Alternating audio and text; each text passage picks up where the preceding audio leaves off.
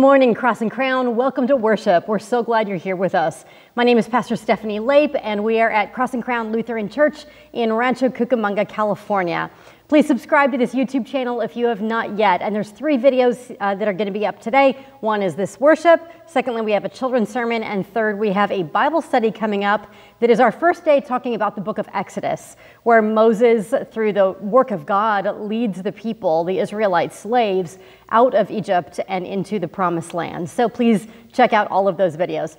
This morning, Brent Tuomanen is unable to be with us like he was last week, um, but he will be back I believe next week. Uh, still, here we are in our sanctuary, and it's a pleasure to be here. And I've heard from many of you that it's a pleasure to at least get to see it. I know right now we're not able to all be together, but at least we get to see the sanctuary decorated in white for All Saints Sunday. So today, All Saints Sunday around the world is where we remember our departed loved ones. So we have special prayers and thoughts for those that we personally know. Maybe they've died in this last year, or maybe even years ago, and you might still be grieving and missing them, and, and maybe you always will. And so we remember those who grieve and mourn, and we also celebrate the eternal life and the resurrection of all of these loved ones as they now are joyfully seeing God face to face. We also today especially remember all those who have died this year from COVID 19 in the United States and around the world. It's been quite a year of loss. And so we remember all of those who mourn and grieve, and we stand in solidarity with them. And we also celebrate for the new resurrected life of so many saints in this great cloud of witnesses. November is our stewardship month as well in our church.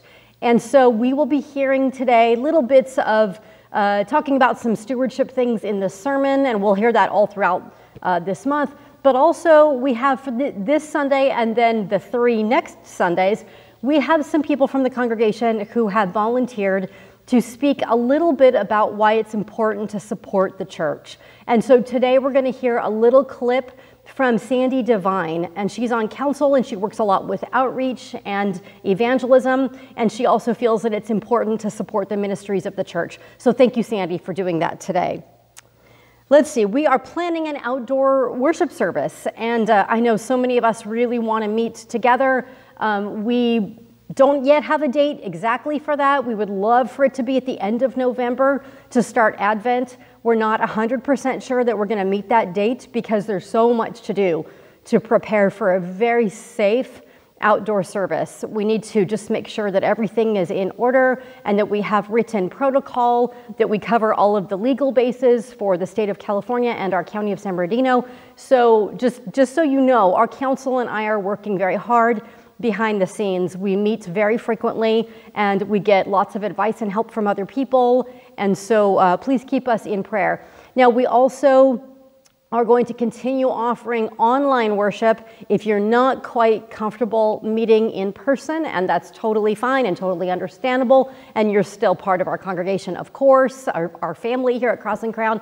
Um, so we will still be online um, and we'll have both of those opportunities. So more information is to come. Just stay tuned for that. Rancho Cucamonga Family Resource Center is collecting food, and for November, the food of the month that we collect is dried beans. Also, they're collecting specific types of food to put together Thanksgiving dinners for people. So you should have received an email about that. And in that email, you see the list of all of the different Thanksgiving foods that they need. So if you would like to donate Thanksgiving food or dried beans or anything else, please dig down deep and be generous and then go and, and give right to the Rancho Cucamonga Family Resource Center there on Arrow Route in uh, the city. Uh, if you can't make it for whatever reason, just leave the food outside of the church door in a bag, of course, non perishables and one of us that comes by the church will take it there for you. Okay, at this point, oh, one more thing. Wednesday night, we are continuing our faith in film study. And as you all know, I'm sure, this is voting week for our country. So we are watching the film called Suffragette about when women struggled and, and won the right to vote. Uh, all of these films that we watch are on Netflix. So you should be getting an email about that. And if you want to participate, then watch the movie Suffragette And then Wednesday at 7 p.m., click on that emailed link that has that Zoom link in it, and you'll be moved right into the Zoom room. Now, somebody asked me, can I go ahead and, and join the group even if I haven't watched the movie? Absolutely. Maybe you don't have Netflix. Just stop on by anyway. It'll be part of a fun conversation about voting and, and what women did to kind of get you know, equal rights in terms of voting. Um, and we'll pray for our nation as we're all waiting you know, the results of this election. Uh, and so, yeah, come on and, and join us. Okay, at this point, we're going to go ahead and light our candle. And we have here what we call the Christ candle. And this symbolizes Christ being not only in the sanctuary, but everywhere you are. So if you have one at home, go ahead and light that. And remember that Christ is always with us and binds us all together as the church. Also, I have another candle here, just one, but it symbolizes so many that we remember on All Saints Sunday. So, when I saw some of you um, Friday for Holy Communion, I suggested if you want to, to have two candles this time. One is the Christ candle, and one symbolizing your beloved departed that have joined the church triumphant and are now part of the great cloud of witnesses. With this candle, we remember all those that we have loved and lost, and we proclaim their resurrected life together with Christ.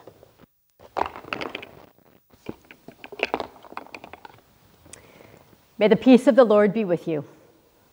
Blessed be the Holy Trinity, one God, in whose image we are made, who claims us and calls us beloved. Amen. Let us pray. Holy One, we confess that we are not awake for you. We are not faithful in using your gifts. We forget the least of our siblings. We do not see your beautiful image in one another. We are infected by sin that divides your beloved community. Open our hearts to your coming. Open our eyes to see you in our neighbor. Open our hands to serve your creation. Amen. Beloved, we are God's children, and Jesus opens the door to us. Through Jesus, you are forgiven. By Jesus, you are welcome. In Jesus, you are called to rejoice. Let us live in the promises prepared for us from the foundation of the world. Amen. God of compassion, by the power of God, Elijah provided bread and oil for the widow and her household. By faith in God, the widow provided food and water for Elijah. Give us hearts to love one another, so that in providing and in receiving, we too might experience the unimaginable power of God through the one who has provided life itself, your Son, Jesus Christ. Amen. Greetings, Cross and Crown family and friends. I'm Sandy Devine, and I'd like to share just a short story with you. Last fall, my life journey brought me back to Southern California, to my close family and friends. I wanted to stay here and spend time here with them. The very first Sunday that I came back, I went to church at Cross and Crown with my family. And what I remember is how welcoming, open, friendly, and caring everyone was. I felt already a part of God's community as we moved through the service. For those of you that know me, I like to bring my Bible to church and read the lessons and the gospel along with the readers. As I was opening my Bible, it went to a special verse that brought this church, my family, my life, into a very faithful perspective for me. And I'd like to share that with you. Acts 15:4. When they came down to Jerusalem, they were welcomed by the church and the apostles and the elders to whom they reported everything done to them. I heard, welcome back. Thank you. A reading from the Gospel of Luke, chapter 4, verses 24 through 26. And he said, Truly I tell you, no prophet is accepted in the prophet's hometown. But the truth is, there were many widows in Israel in the time of Elijah when the heaven was shut up for three years and six months, and there was a severe famine all over the land. Yet Elijah was sent to none of them except to a widow at Zarephath in Sidon. The word of the Lord. Thanks be to God. Our word of the day is a reading from 1 Kings, chapter 17, verses 1 through 24. Now Elijah the Tishbite of Tishbe in Gilead said to Ahab, As the Lord, the God of Israel, lives, before whom I stand, there shall be neither dew nor rain these years except by my word. The word of the Lord came to him, saying, Go from here and turn eastwards, and hide yourself by the Wadi Cherith, which is east of the Jordan. You shall drink from the wadi, and I have commanded the ravens to feed you there. So he went and did according to the word of the Lord. He went and lived by the Wadi Cherith, which is east of the Jordan. The ravens brought him bread and meat in the morning, and bread and meat in the evening, and he drank from the wadi. But after a while, the wadi dried up because there was no rain in the land. Then the word of the Lord came to him, saying, Go now to Zarephath, where, which belongs to Sidon, and live there, for I have commanded a widow there to feed you. So he set out and went to Zarephath. When he came to the gate of the town, a widow there was gathering sticks. He called to her and said, Bring me a little water in a vessel so that I may drink. As she was going to bring it, he called to her and said, Bring me a morsel of bread in your hand. But she said, As the Lord your God lives, I have nothing baked only a handful of meal in a jar and a little oil in a jug. I am now gathering a couple of sticks so that I may go home and prepare it for myself and my son, that we may eat it and die. Elijah said to her, Do not be afraid. Go and do as you have said, but first make me a little cake of it and bring it to me, and afterwards make something for yourself and your son.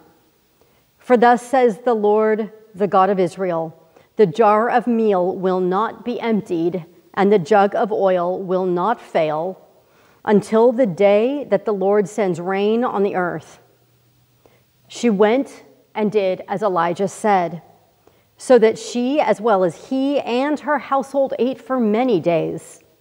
The jar of meal was not emptied, neither did the jug of oil fail according to the word of the Lord that he spoke by Elijah.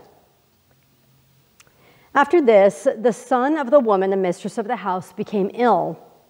His illness was so severe that there was no breath left in him.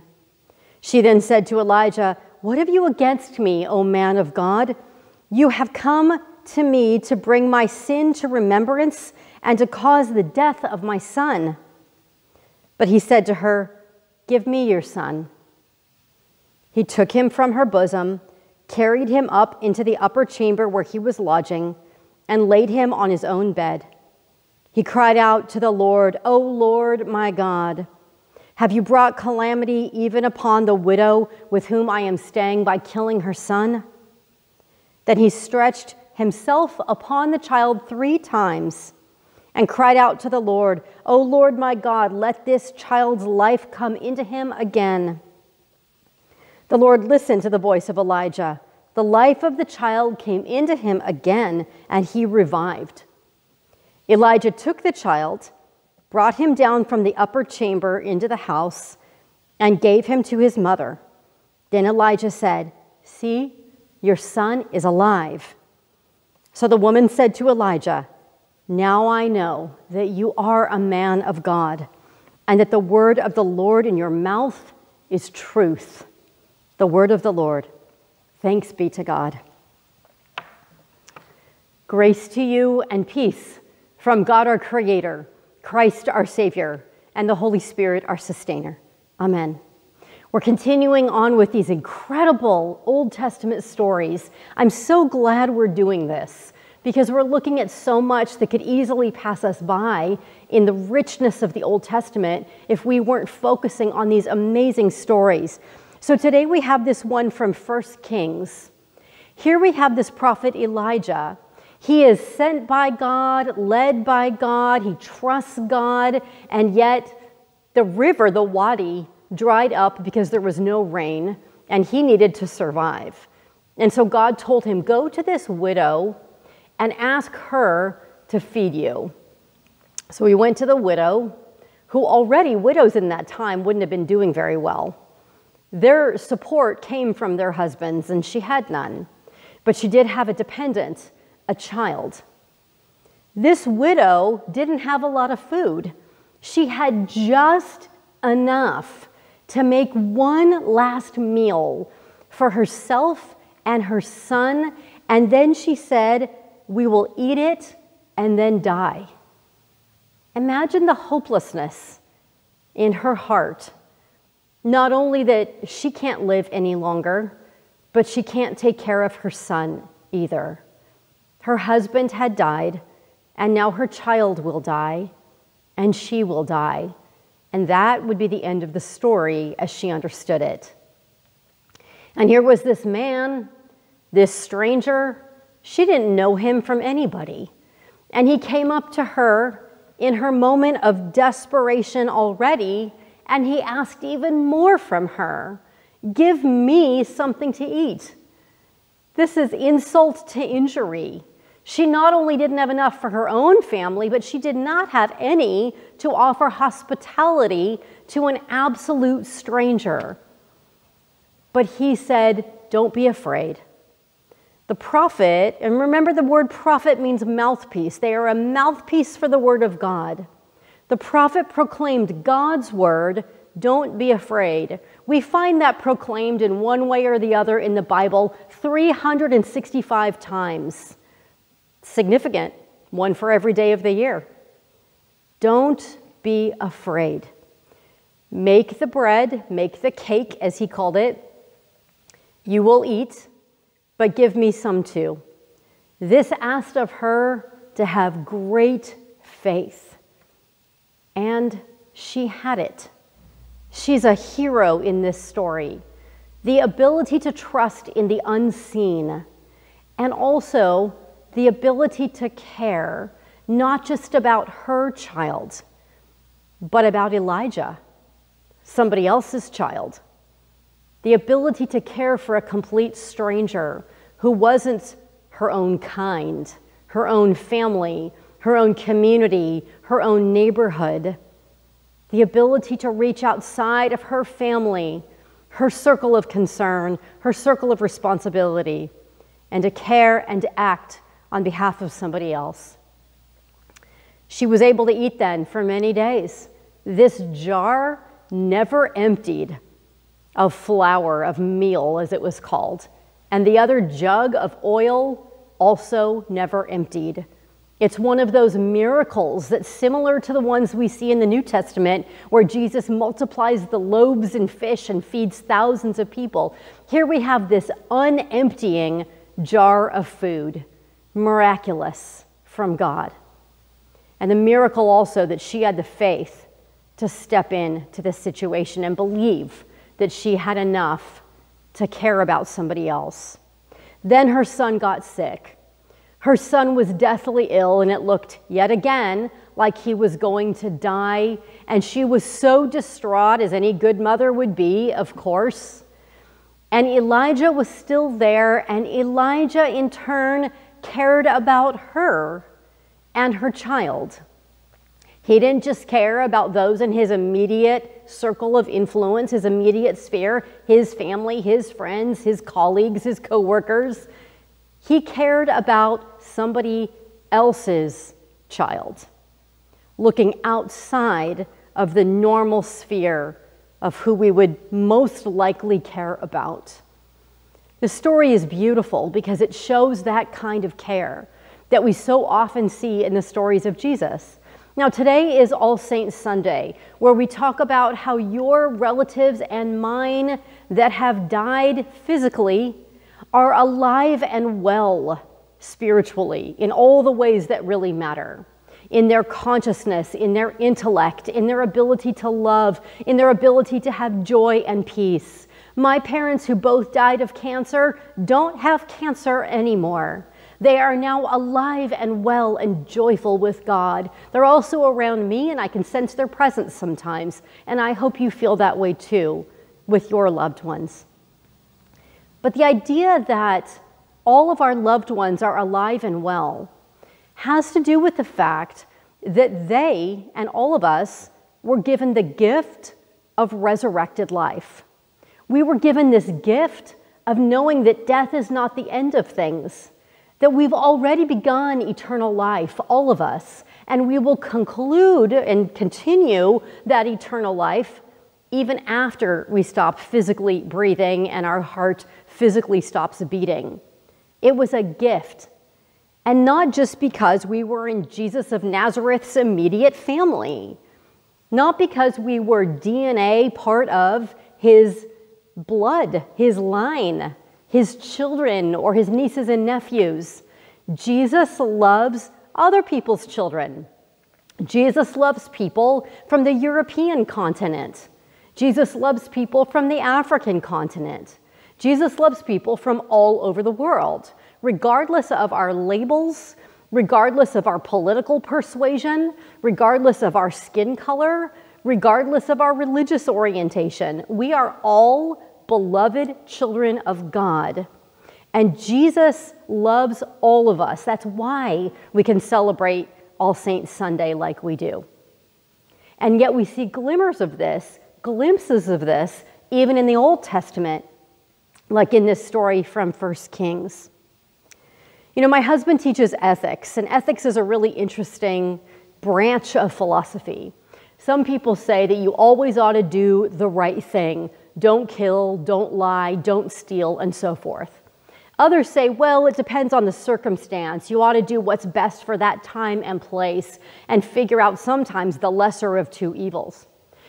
It's a fascinating course of study, and one famous ethicist is named Nell Noddings.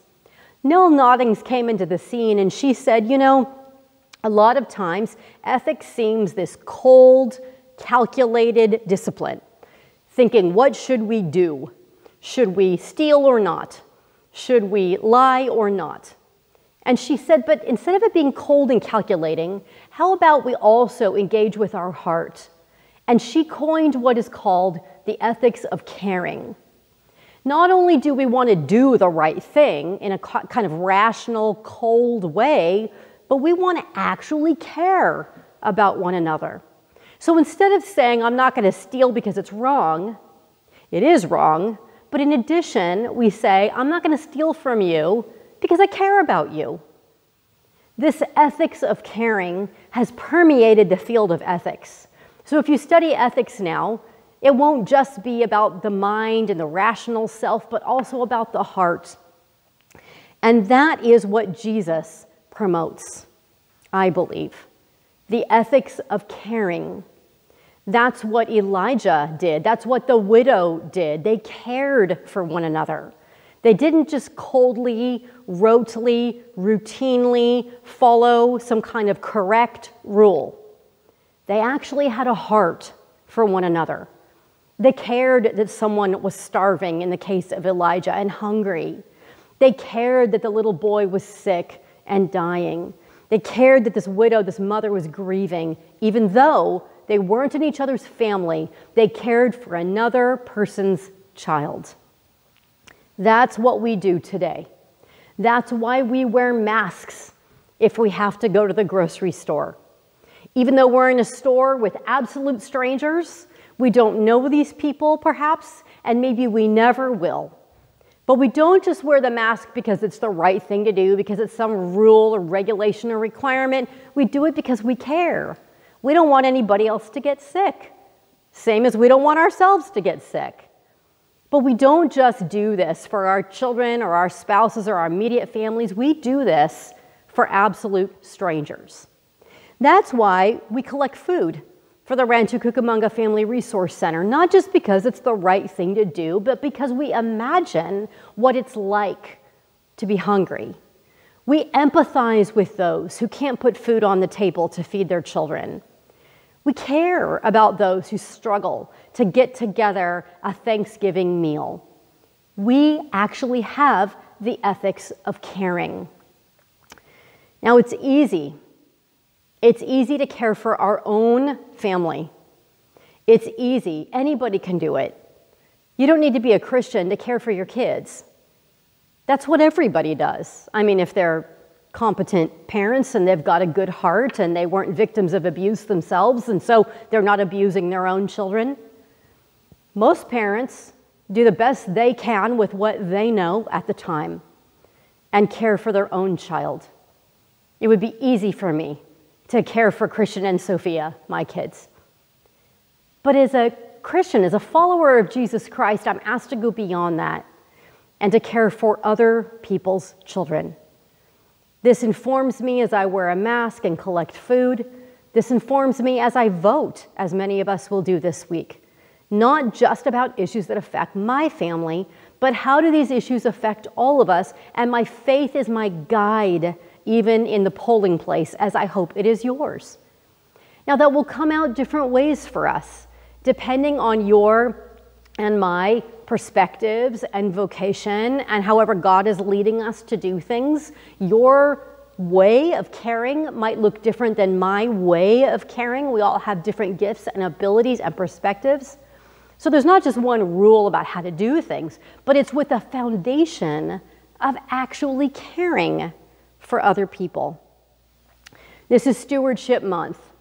And one of the things I want to lift up about why it's so important, I believe, to support the ministry of the church is that the church, Cross and Crown, and the Universal Church for 2,000 years has been an unbroken lesson in this. It's been a countercultural, revolutionary lesson in this that we're not just called to care for our own, but we are called to care for other people's children. Your children will be cared for by me. My children will be cared for by you. And we are all in this country and in this world one big community where we care for one another, like the widow did, like Elijah did. The church has often made mistakes. I'm the first to admit that. And as we said last week on Reformation Sunday, the church must always be reformed by the Holy Spirit. The church and every human institution must always be reformed to do better, to repent for mistakes and move forward, and to do better in terms of peacemaking and justice and love and caring. And so I could go on and on. I could lecture for hours of the mistakes the church has made over 2,000 years around the world. However, that's not the whole story. And I'm part of the church, and I'm proud to be a part of the church. I'm happy, I'm grateful to be a part of the church because of all that it's done right. And in 2,000 years, we have not just been told the message take care of your own people, support family values. Because again, everybody does that. That's easy, that's a low bar. But our church has called us to stretch further, to be like Christ and care for the world, to be like the great prophet Elijah and the widow at Zarephath, to care for other people's children. And if that's not a reason to support the church, to support Christian ministry, I don't know what is. It's a whole philosophy, it's a whole worldview, it's a whole ethic of very broad love love that might look foolish to those who don't understand the gospel. But you understand, and I bet there have been times in your life when people in the church reached out to you and held you up and supported you as good communities do, not just caring for themselves, but caring also for you and your children and reaching out beyond the boundaries and beyond the walls and beyond political persuasion and beyond sexual orientation and beyond skin color and beyond any other label that we would use to divide and push people away. Jesus doesn't do that. And we see here that neither did Elijah and neither did this widow. So may we follow these great examples of Christ who gives eternal life to all of us that we celebrate on All Saints Sunday. May we follow the examples of the widow who gave her very last bread to a perfect stranger with incredible faith that more would come for her. May we follow the example of Elijah, who gave of himself to save a child. even one outside of his own family. May we know that we are given the Holy Spirit strengthening us to love and to care in this kind of way. Thanks be to God. Amen.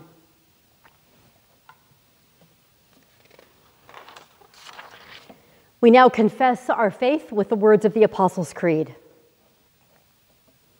I believe in God, the Father Almighty, creator of heaven and earth. I believe in Jesus Christ, God's only Son, our Lord, who was conceived by the Holy Spirit, born of the Virgin Mary, suffered under Pontius Pilate, was crucified, died, and was buried. He descended to the dead. On the third day, he rose again. He ascended into heaven. He is seated at the right hand of the Father, and he will come to judge the living and the dead. I believe in the Holy Spirit, the Holy Catholic Church, the communion of saints, the forgiveness of sins, the resurrection of the body, and the life everlasting. Amen. All blessing, honor, and glory, all wisdom, praise, and thanks be yours, O God of our salvation. We pray in communion with all the saints on earth and heaven, with the martyrs and the faithful in all ages, and in the name of the Lamb who was slain, who alone is worthy of worship. God of the church, open our hearts and our eyes to see your presence in the outcast, in the stranger, and in other people's children. Make us bold in proclaiming your love for all people. Lord, in your mercy, hear our prayer. God of all creation, bless creatures and plants of all sorts. Pour out your blessing upon all life and sustain us with your grace. Lord, in your mercy, hear our prayer. God of the nations, help us to see you at work in all people and all tribes, and make us to see your image in our neighbors. Guide this country, particularly this week, red states and blue states, rural voters and urban voters, young and old, as we share in another national election. Kindle hearts eager to understand our common American needs and seek our common good. Lord, in your mercy, hear our prayer. God of the lost and the despairing, pour out your love and your blessing upon the brokenhearted and the anxious, and provide a keen sense of your presence. These are trying times, God. Many are anxious. Please help them and support them. Lord, in your mercy, hear our prayer. God of healing, work in and through doctors, researchers, and all healthcare staff to bring comfort and wholeness where it is most needed. We pray for those who are currently suffering from COVID 19 and all other diseases at this time. We also pray for those who have mental health concerns that they get the help they need. Lord, in your mercy, hear our prayer. God of this assembly at Cross and Crown, deepen our trust in your promises and work your will and your word in our lives. Lord, in your mercy, hear our prayer. God of every time, countless are the multitudes you have called by name and gathered to yourself. Comfort us as we grieve those who have died in the past year or even those who have died beyond that. We pray also for the 230,000 Americans that this year have died from COVID 19. We pray for the 1.19 million worldwide citizens that have this year died from COVID 19. Welcome them all into your arms. In faith, may we join with them in ceaseless praise. Lord, in your mercy, hear our prayer. Bless us with your healing presence. Make us hungry for justice. Strengthen our faith and increase our love for others, especially those we find most difficult to love. Amen. Let us pray now as our Savior taught us.